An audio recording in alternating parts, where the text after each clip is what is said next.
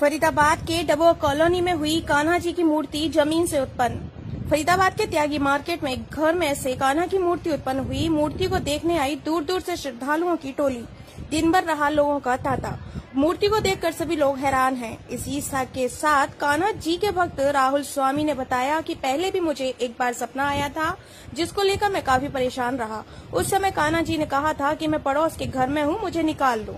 तब मैंने कहा कि कान्हा जी, प्रभु मैं दूसरे के घर को कैसे खोद सकता हूँ?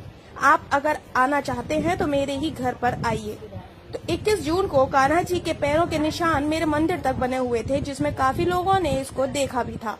आज उसी जगह जब मुझे कान्हा जी ने कल सपने में कहा कि मुझे निकाल दो ज़मीन से, नहीं तो आपका मकान गिर जाएगा। तब महंत राहुल जी ने अपने गुरुदेव से बात की और उन्होंने एकादशी के दिन खुदाई का शुभारंभ किया, जिसमें आज सुबह चार बजे कान्हा जी की मूर्ति निकली है। जिस जगह कान्हा जी का मंदिर बना हुआ है उसी के समक्ष कान्हा जी की मूर्ति प्रकट हुई है जिसको देखने के लिए लोगों का तांता लग गया और आस पड़ोस के लोगों ने बताया कि कई बार हम रमण बिहारी की जय सतगुरुदेव भगवान की जय जय जय श्री जी, आपका क्या नाम है आपका? मेरा नाम राहुल है। राहुल जी। हाँ जी। राहुल जी जो आज आपके घर में जो कान्हा जी की मूर्ति निकली है जी। क्या कहना चाहोगे इस बारे में?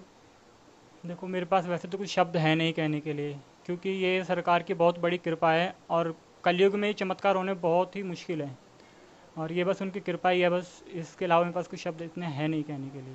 आप कान्हा के भक्त हो और जैसे आप कान्हा की सेवा करते चले आए हो जी। आज आपको कैसे ये पता लगा कि जी मुझे नीचे ज़मीन में ये खुदाई करनी चाहिए जिससे कान्हा जी की यहाँ मूर्ति निकलेगी? ये मुझे आज से नहीं ये मुझे सवा साल डेढ़ साल पहले से दर्शन देते थे।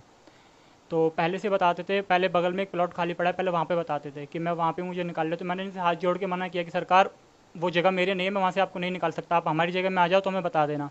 तो उसके बाद 21 जून को सुबह पाँच बजे पूरे घर में चरण चिन्ह बने थे बाहर मेन गेट से लेकर और मंदिर तक। उसके बाद बाद इन्होंने स्वप्न देने मेरे को दर्शन देने शुरू कर दिए कि मैं आप तेरे जगह के अंदर आ चुका हूँ मुझे बाहर निकाल ले। इक्कीस जून को आपको दर्शन दिए थे? हाँ जी।